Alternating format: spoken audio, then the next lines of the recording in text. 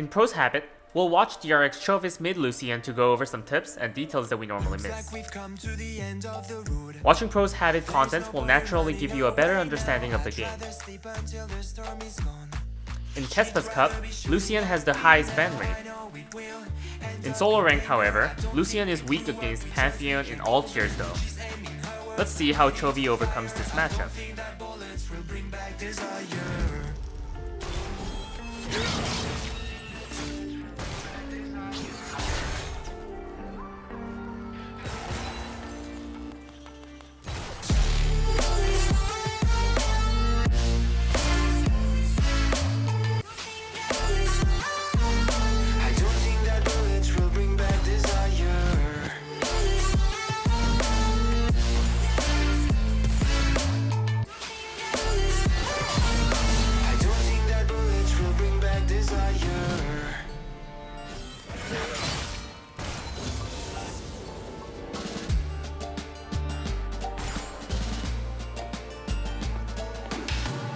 Like a blink of an eye's not enough. She'd rather be staying for days now. I'd rather fix it than mess up again. She'd rather be burning it all now. I know it will end up in anger. I don't think we grew up, we just became older. She's aiming her words, ready to fire. I don't think that bullets will bring back desire. This matchup starts with Pantheon's Empowered Spear on Lucian. What stands out is that Chovy always learns his first skill based on the opponent's skill. As he checks the spear, he learns Q to push the wave faster and still can trade with Pantheon. He doesn't land his double shot right away, but he pretends to land it on Pantheon by moving forward before he uses on minions to push the wave. Chovy always follows the basic rules in lane, attacking when the enemy last hits a minion, when only you can hit him. Then he backs up right away to get out of range minions aggro. He basically got enemies minions aggro on him, so that their minions don't push his wave, but his minions are pushing. This happened in less than 10 seconds. This seems very minuscule, but imagine your Pantheon with Q against PTA Lucian. If he lands a double shot on you, the third shock procs PTA and puts you with a very bad trade, so you'll naturally sit back. Of course, this kind of play has a downside. If you push the first wave so fast like this, you'll have an advantage on trade. The rule of thumb in League is that you always have more advantage if you push the wave.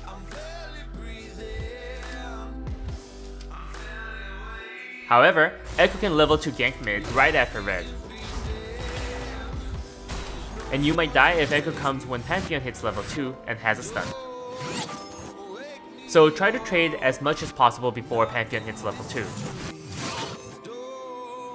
Remember to trade more actively when you are pushing. If you traded well early, Ekko can't just walk up mid.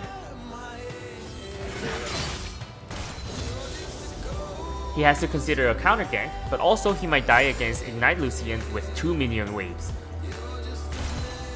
Then, as always, Chovy puts down a ward trinket on one side during a big pushing wave, usually at the cannon wave. This ward gives you 3 possible situations since our jungle is at wolves.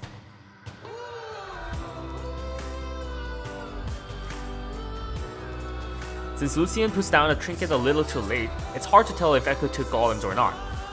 You need to put down a ward by 220 at most to have a concrete information, but you can still tell that Ekko's on blue side of jungle. Ward trinket here at this time tells you how the enemy jungle is jungling. You can share this information to your team by pinging a lot of missing pings. It's like sending your SCV to scout enemy's build in StarCraft.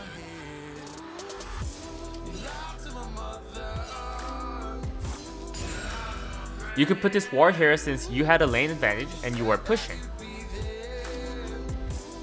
Pantheon plays around the top side of mid since Lucian knows the Raptors are gone, so he's just staying closer to his jungle.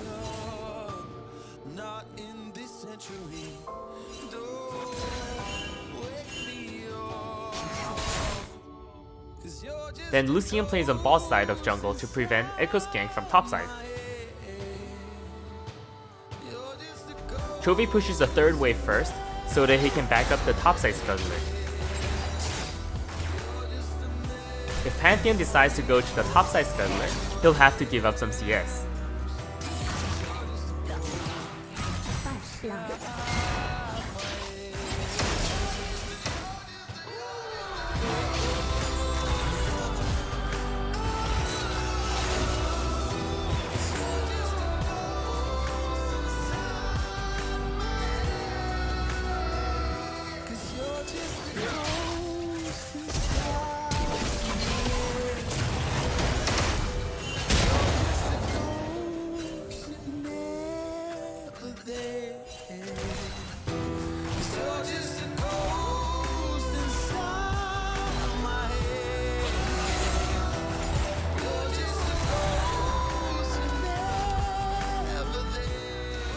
In Challengers games, early lane or jungle advantage is a huge winning factor.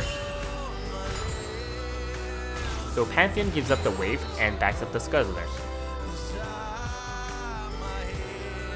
Even if Chovy dies during the fight, the wave will be pushed to his side since he pushed the wave earlier to enemy's side.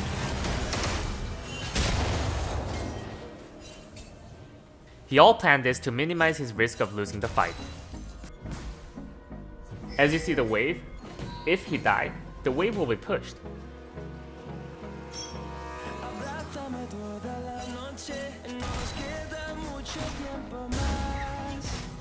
Even though Ekko got the Scuttler, our Renekton came first and got a kill.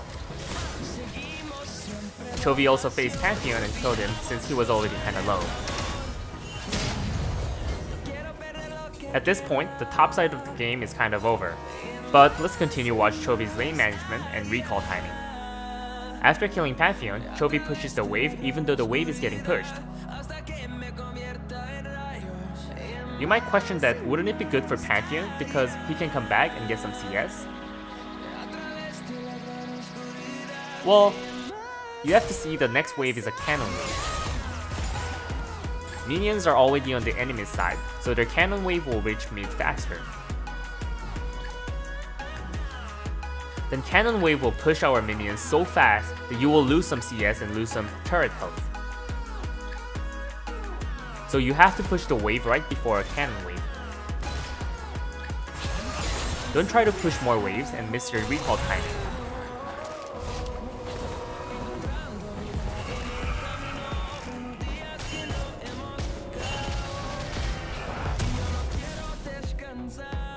Let's see what happens if you play like Chovy. Blue team's wave halted the turret, which means the wave will be formed toward blue team's side.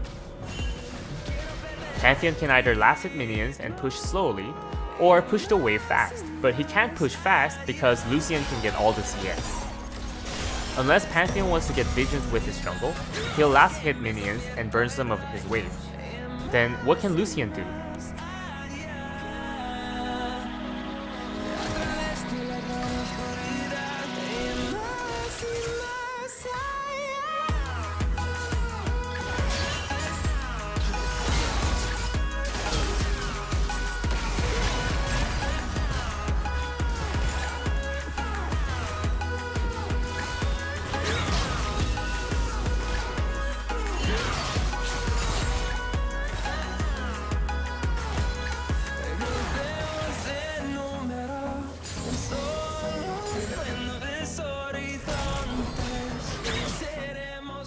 At only 4 minutes, Lucian is ahead of almost 3 waves of CS.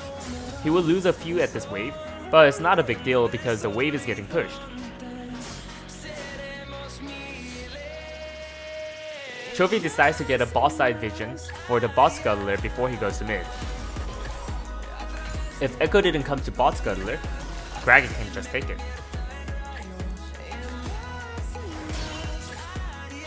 But even if you took the boss scuttler like this, the ward restricts Ekko's boss side movement as well as Pantheon's boss side movement.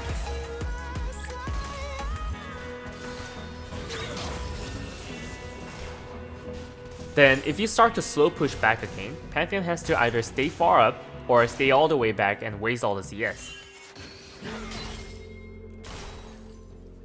He can't just roam boss straight up because of the ward, so it's easy to tell where he goes.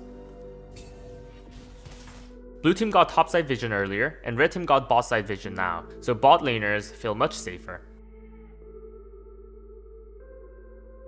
Now let's continue from where we left off. Pantheon is staying far up due to the wave, so he has to think of Gragas. Then Ekko has to stay around mid and watch his back. And this one single brilliant ward screwed up Ekko's plan. This is kinda funny. Pantheon warded this push, which was shown by Scryer's Bloom by Gragas at 336. When this ward died, it became Gragas' zombie ward. So Ekko's brilliant plan to gank mid was screwed by this one single ward.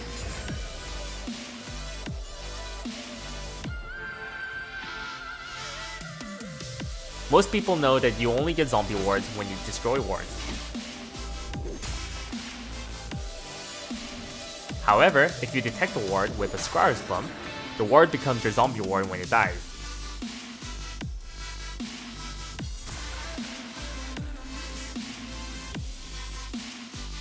It's sometimes better to let it die instead of destroying it and let the enemy know where the zombie ward is.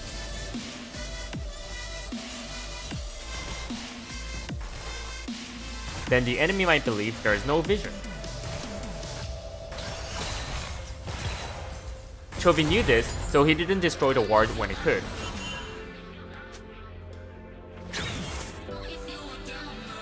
This makes blue team think that red team never warded this push.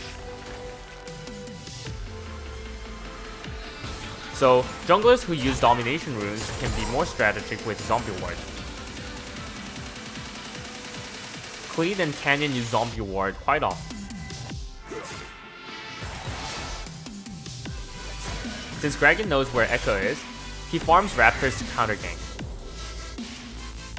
Lucian knows that Pantheon has both summoner spells and enemy CC combo, so he stays on bot side to just avoid a game. If you see the minimap right now, Gragas is going to enemy's jungle, so Chovy stays on top side right away to back up faster. Let's watch the next play.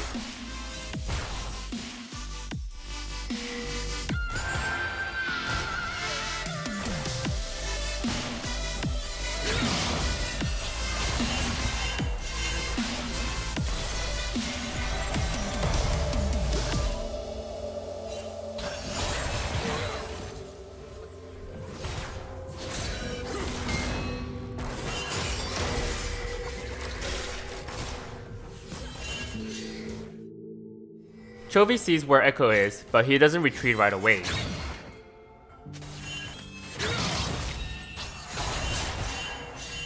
Watch what he does. First, Chovy is one level ahead. If he retreated as soon as he saw Ekko, Ekko could tell where the ward was and remove the control ward in the top bush.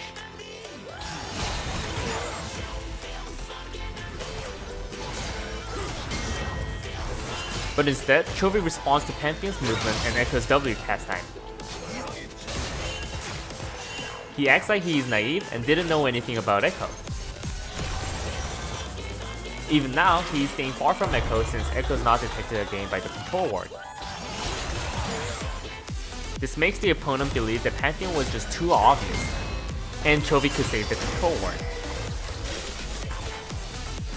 Also, Ekko's jungle route is shown, he could react to Pantheon's stun more easily since he knew Ekko was around.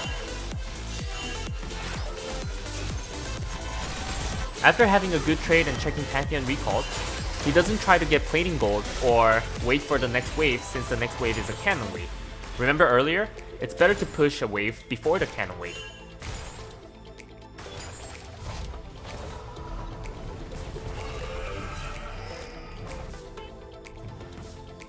It's been only 7 minutes and kill scores are only 1 to 2, but the top side of the game is already over.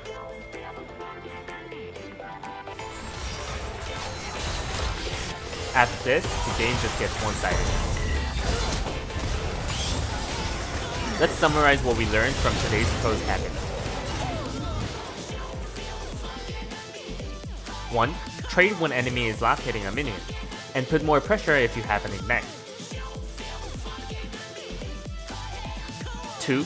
Predict enemy's jungle based on where your jungler is, and put a ward at 220. Just say Raptor's ward. 3.